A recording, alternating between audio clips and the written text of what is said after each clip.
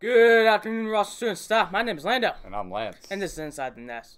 Sophomores and juniors will take the PSAT test on Thursday, October 29th, 2020, which is this coming Thursday. Testers will need to bring two number two pencils with soft erasers. No mechanical pencils are allowed. Students should also bring a basic four function calculator. Percentage and square root functions are allowable, along with a snack and a drink. Students that are not testing should read signs posted outside proctoring teachers' classrooms so they know where to report on test day. There's a high school softball call out Tuesday, which is tomorrow, from 12 to 12:30 during homeroom. Be there if you want to play softball.